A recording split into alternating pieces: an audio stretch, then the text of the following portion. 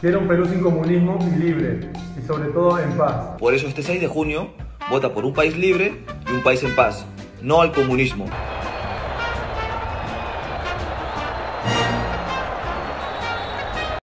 ¿Una opinión sincera de un futbolista o una campaña política usando la selección? Hoy por si acá detallaremos el papel de los futbolistas en la política a nivel mundial.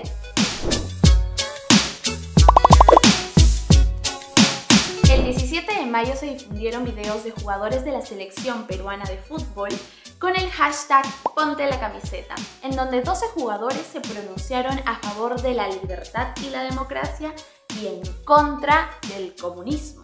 Pero, ¿quién representa la libertad y la democracia?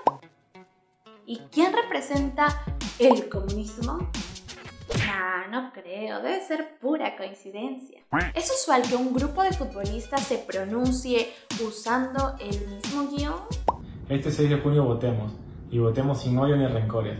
Votemos por un Perú en paz, unido y democrático. Por un Perú en democracia, en libertad, unido y en paz. Unidos por un mismo objetivo, un Perú que siga creciendo para que todos lo disfrutemos por igual en democracia y en paz.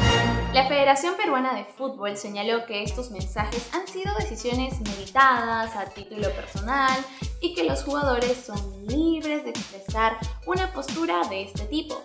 Mm, ¿Será expresar una postura solamente? ¿O no será utilizar la camiseta para fines partidarios a favor de una candidata?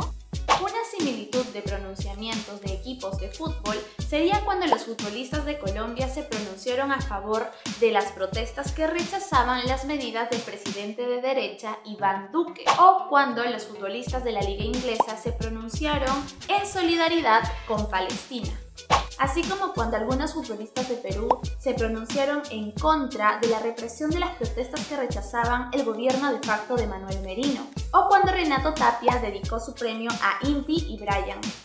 Una diferencia sería que no se han visto casos en donde selecciones de fútbol de un país se pronuncien a favor o en contra de un candidato presidencial, como pareciera ser el caso en Perú. ¿O tú conoces alguna selección de fútbol que haya apoyado a un partido político? Coméntanos, ¿tú apoyaste el hashtag ponte la camiseta o el hashtag la camiseta no se mancha? Por si acá, comparte este video con tu amigo amante del fútbol que aún no sabe por quién votar. Suscríbete, comenta y reacciona para seguir creando más contenido. ¡Nos vemos!